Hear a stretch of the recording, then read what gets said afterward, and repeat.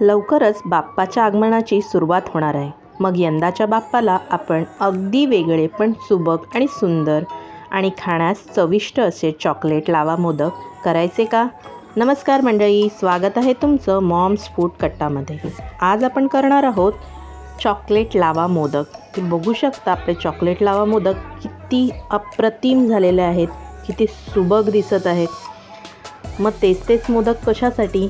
या गणपतीला करा हे अतिशय सुंदर आणि चविष्ट असे लावा मोदक. माझ्या चॅनलवर जर तुम्ही नवीन असाल तर माझ्या चॅनलला सबस्क्राईब करायला विसरू नका. त्याचबरोबर बेल आयकनसुद्धा प्रेस करा ज्याने तुम्हाला माझ्या व्हिडिओचे नोटिफिकेशन मिळतील आणि तुम्ही कोणताही व्हिडिओ मिस करणार नाही. चला तर मग सुरुवात करूया आपल्या रेसिपीला.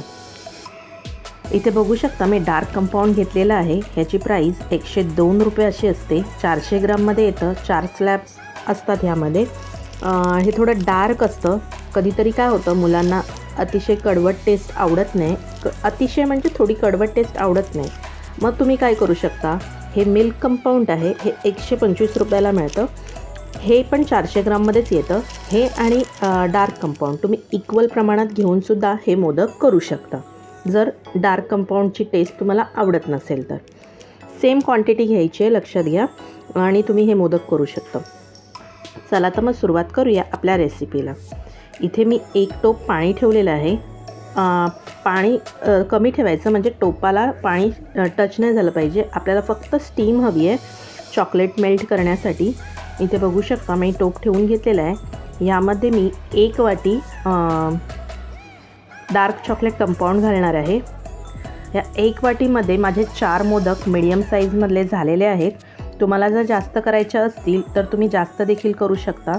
अगदी दोन मिनटामध्ये हा चॉकलेट व्यवस्थित मेल्ट होतं. इथे बघू शकता. लक्षात घ्या पाणी टोपाला टच नाही झालं पाहिजे. आपल्याला फक्त त्याची स्टीम यूज करायची मी इथे मोदकाचं मोल्ड घेतलेलं आहे. इथे बघू शकता मी एक रबरच्या साह्याने हे मोदक जे साचा आहे तो व्यवस्थित बांधून घेते. ह्याने काय होणार मोदकाचं जे आपलं चॉकलेट आहे ते अजिबात बाहेर येणार नाही. आणि आपला मोदक अतिशय सुंदर आणि सुबक होईल. इथे बघू शकता मी यामध्ये एक चम एक एक चमचा करून आपलं जे चॉकलेट आहे ते पूर्ण भरून घेणार आहे. रेसिपीला लागणाऱ्या सर्व साहित्यांचं प्रमाण तुम्हाला डिस्क्रिप्शन बॉक्समध्ये मिळेल. तर डिस्क्रिप्शन बॉक्स चेक करायला विसरू नका फ्रेंड्स व्यवस्थित भरून झाल्यानंतर हे चारी साईडला व्यवस्थित असं फिरवून घेणार आहे. आणि ह्यामधलं जे एक्स्ट्रा चॉकलेट आहे ना ते पुन्हा मी टोपामध्ये काढून घेणार आहे. ते बघू शकता. अशा प्रकारे मी बाकीचे चार जे माझे साचे आहेत ते सुद्धा मी भरून घेणार आहे. ते बघू शकता. व्यवस्थित आपलं जे एक्स्ट्रा चॉकलेट असतं ते काढून घ्यायचं. सगळंच काढून नाही घ्यायचं कारण काय होईल मग मोदकाचे जे वरचं आवरण आहे ना ते जास्त हार्ड होणार नाही. अगदी पातळ होईल त्यामुळे सगळंच काढायचं नाही. तर इथे मी काय केलं आहे जे उरलेलं चॉकलेट असतं ना ते एका वाटीमध्ये काढून घेतलं आहे आणि ह्यामध्ये मी अर्धा वाटी चॉकलेट पुन्हा घालून घेतलेलं आहे आणि जशी मी मेल्टची प्रोसेस फर्स्ट दाखवलेली ना ती सेम करून घेतलेली आहे. आणि त्यामध्ये एक चमचा न्यूट्रिजेल घालून घेणार आहोत. न्यूट्रिजेलची फारशी अशी काही टेस्ट नसते. न्यूट्रिजेल फक्त ग्लेजसाठी यूज केला जातो. आणि इथे मी एक दोन चमचे व्हिपिंग क्रीम घेतलेली आहे.